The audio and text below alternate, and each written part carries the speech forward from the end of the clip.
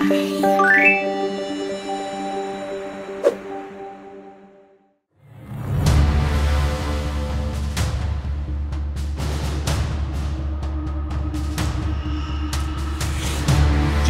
और ताइवान का झगड़ा बहुत पुराना और कंफ्यूजिंग है।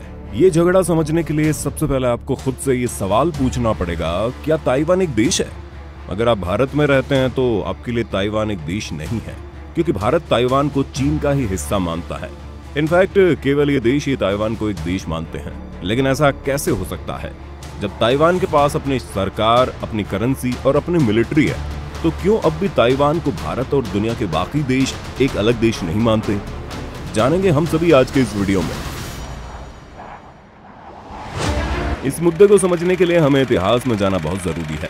चीन पर 19वीं सदी में चिंग डायनेस्टी का शासन था। और अठारह में हुई पहली सिनो जैपनीज वॉर के दौरान चीन को हार झेलनी पड़ी थी। इस हार में चीन को ताइवान को गंवाना पड़ा था, जिस पर उसका सत्रहवीं सदी में कंट्रोल रहा था।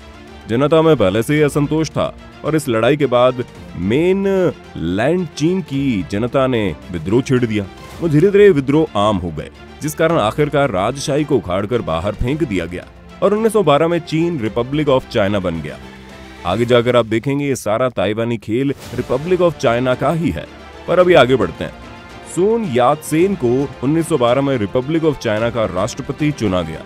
यादसेन चीन की नेशनलिस्ट पार्टी वो मिनतांग या केएमटी से आते थे। चीन अभी पूरी तरह आज़ाद नहीं था। चीन दो हिस्सों में बढ़ चुका था। जिसमें एक रिपब्लिक ऑफ़ चाइना था और दूसरा था वो इलाका जो भी राजा के कंट्रोल में था। राजा की मौत के कारण उनका चार साल का बेटा राजा बन गया। और उसको मिलिट्री जनरल युआन शिकाई का समर्थन हासिल था। यूँ कहें तो युआन शिकाई ही असली राजा था। फिर युआन शिकाई को यादसेन ने उनकी सरकार ज्वाइन करने के लिए मना कर दिया और अंततः चीन एक हो गया। बस एक परेशानी थी, शिकाई चालाक था। उसने यादसेन को देश से निकाल दिया और खुद को चीन का राजा घोषित कर दिया। बढ़ते विरोध के कारण उसे भी 1916 में सत्ता छोड़नी पड़ी और चीन राजनीतिक तौर पर एक कमज़ोर स्थिति में था। बीजिंग में सरकार तो थी लेकिन उसका अपने देश पर कोई कंट्रोल नहीं था। फिर 1919 में यादसेन चीन लौटे और चीन में उन्होंने एक मिलिट्री रूल कायम किया। इसी दौरान चीन की कम्युनिस्ट पार्टी या सीपीसी का गठन हो रहा था, जो तेज़ी से लोगों के बीच में पॉपुलर होती जा रही थी। चीन में स्थिरता लाने के लिए यात्सेन ने कम्युनिस्ट पार्टी को भी अपने साथ लेने का फैसला किया और उनके साथ अलायंस बनाया। लेकिन 1925 में उनकी मौत हो गई। इसके बाद कमान सौंपी गई केएमटी के ही चियांग काई शेख को। 1927 में कम्युनिस्ट पार्टी के लोगों ने काई शेख का तख्ता पलट करना चाहा, लेकिन उससे पहले ही इस बात की भनक लग चुकी थी और उसने बदले में कम्युनिस्ट पार्टी के लोगों को मरवाना शुरू कर दिया। इसके बाद कम्युनिस्ट पार्टी और केएमटी में चीन की सत्ता लेने का खूनी खेल शुरू हो गया और सीपीसी ने छोटे छोटे ग्रुप्स में जाकर गुरिल्ला अटैक करने शुरू कर दिए। चीन की स्थिति देखकर 1937 में जापान को फिर से चीन में फ़ायदा दिखा और उन्होंने चीन पर हमला कर दिया। और काफ़ी हिस्से पर अपना कब्जा भी कर लिया। पर तभी काइशेक और कम्युनिस्ट पार्टी के माओ ने मिलकर एलियंस कर लिया और जापान से युद्ध में साथ आ गए। इस वक्त दूसरा विश्व युद्ध भी शुरू हो चुका था, जिस वजह से चीन को यूके और अमेरिका का साथ भी मिला। और आखिरकार जापान की हार के बाद चीन का पूरा हिस्सा उसे वापस मिल चुका था। और ताइवान भी। जी हाँ अठारह के बाद 1945 में पूरे 50 साल बाद ताइवान अब फिर से चीन का हिस्सा था। इसके बाद भी चीन में शांति नहीं रही। नए नए दोस्त बने के और सीपीसी ज़्यादा दिन तक एक दूसरे का साथ नहीं रह पाए। और आखिरकार उन्नीस सौ उनचास में चीन पर माओ का कब्जा हो गया। और काई शेख ताइवान भाग गए, जहाँ उन्होंने अपनी सरकार बनाई और कहा, माओ की सरकार गैर कानूनी और नाजायज है, और उनकी सरकार ही असल में चीन की सरकार है। यानी ताइवान बन गया रिपब्लिक ऑफ़ चाइना और माओ का China People's Republic of China दुनिया के सामने दो विकल्प थे कि या तो वो ताइवान को चीन माने या माओ को चीन, असली चीन माने। तब अमेरिका और बाकी बड़े देश कम्युनिस्ट या साम्यवादियों के कट्टर विरोधी थे, इसलिए उन्होंने माओ का साथ नहीं दिया और केएमटी को अपना समर्थन दिया। मज़ेदार बात तो ये थी कि आने वाले 22 सालों तक, यानी उन्नीस सौ इकहत्तर तक, रिपब्लिक ऑफ़ चाइना, यानी ताइवान ही चीन को यूनाइटेड नेशंस में रिप्रेजेंट करता था। पर धीरे धीरे पीपल्स रिपब्लिक ऑफ़ चाइना के बढ़ते वर्चस्व के कारण दुनिया ने उन्हें मान्यता देनी शुरू कर दी। और उन्नीस तक तो अमेरिका भी उन्हें मान्यता दे चुका था।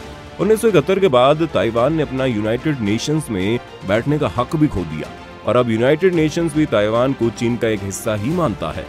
अब इसमें परेशानी क्या है? परेशानी है पीआरसी की वन चाइना पॉलिसी, जो कहती है कि दो नहीं, एक ही चीन है, जिसका मतलब ताइवान भी चीन का ही हिस्सा है।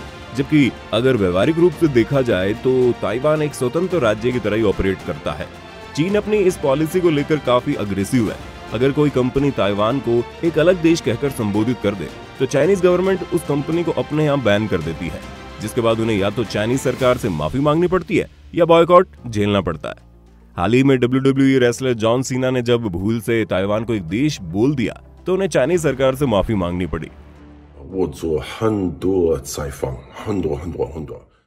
और न सिर्फ़ जॉन सीना और प्राइवेट कंपनीज़ ऐसा कर रही है लेकिन डब्ल्यू जैसी ग्लोबल ऑर्गेनाइजेशन भी ये करने पर मजबूर है। हाल ही में डब्ल्यू के एक ऑफिशियल और हांगकांग रिपोर्टर के बीच में बातचीत इंटरनेट पर वायरल हो गई। इस जूम इंटरव्यू में जब डब्ल्यू ऑफिशियल से पूछा गया, क्या डब्ल्यू ताइवान की मेंबरशिप एक्सेप्ट करेगा? तो पहले उस ऑफिशियल ने इस तरह नाटक किया कि उसे कुछ सुनाई नहीं दिया। फिर जब रिपोर्टर ने सवाल फिर से पूछा तो उन्होंने उसे आगे बढ़ने के लिए कहा। रिपोर्टर ने फिर ताइवान पर सवाल पूछा तो उस ऑफिशियल ने जूम मीटिंग ही छोड़ दी। और जब वो मीटिंग कर वापस आए तो ऐसे दिखाने लगे जैसे ये सब किसी टेक्निकल एरर से हुआ है। बात यही नहीं रुकी। रिपोर्टर ने फिर पूछा, ताइवान ने वायरस को कंट्रोल करने में क्या अच्छे कदम उठाए हैं? तो उस ऑफिशियल ने इस बार सीधा कह दिया कि हम चीन के बारे में बात पहले ही कर चुके हैं। आप सोचिए, अगर डब्ल्यूएचओ जैसी संस्था ये नहीं मान पा रही है कि ताइवान जैसा कोई देश एग्जिस्ट करता है तो चीन ने किस कदर अपना खौफ दुनिया में बनाया हुआ है? चीन के इसी रवैये की वजह से ताइवान के साथ बातचीत करना काफ़ी पेचीदा होता है। जैसे अगर आधिकारिक तौर पर देखा जाए तो भारत ताइवान को एक देश नहीं मानता, इसलिए वो वहाँ पर एम्बेसी नहीं बना सकता। लेकिन हमें ताइवान से व्यापार भी करना है, क्योंकि ताइवान इस वक्त दुनिया में सबसे ज़्यादा सेमीकंडक्टर चिप बनाता है, जो आपके और हमारे गैजेट्स में डलती हैं। इसलिए भारत ने द इंडिया ताइपे एसोसिएशन नाम से एक ऑफ़िस वहाँ बनाया हुआ है। यही हाल बाकी देशों का भी है। ओलंपिक में भी ताइवान के एथलीट ताइवान के झंडे के नीचे नहीं, बल्कि चाइनीज़ ताइपे के अंडर खेलते हैं। अब सवाल आता है, ताइवान क्या चाहता है? क्या उन्हें आज़ादी चाहिए? ये मुद्दा भी उतना आसान नहीं है। कुछ लोग चाहते हैं कि ताइवान चीन के चंगुल से पूरी तरह मुक्त हो जाए, पर वहीं सरकार में कुछ लोगों का ये मत है कि क्योंकि बिना इंडिपेंडेंस के भी ताइवान अपनी मनमर्जी से सभी कुछ कर पा रहा है तो उन्हें स्वतंत्र होने की मांग करके चीन को गुस्सा नहीं दिलाना चाहिए, वरना हो सकता है चीन अटैक कर दे, और जो अधिकार उनके पास अभी है, वो ना रहे। ताइवान की कहानी काफ़ी दुखद है। पूरी दुनिया चीन को एक दूसरे देश को बुली करने का तमाशा देख रही है। पर मदद करना तो दूर। किसी भी देश में इतनी हिम्मत भी नहीं है कि वो इसे एक समस्या समझे। खुद को सुपर पावर कहने वाला अमेरिका, रूस, यूरोपियन यूनियन चीन के सामने घुटने टिका के बैठे हैं और इस तरह से आँखों पर पट्टी बांधे हैं जैसे ना उन्हें ताइवान दिखता है, ना सुनाई देता है। भारत को इस विषय में क्या करना चाहिए? आपकी क्या सोच है? हमें कमेंट बॉक्स में ज़रूर लिखना। वीडियो पसंद आए तो लाइक करना, चैनल को सब्सक्राइब भी कर ही देना।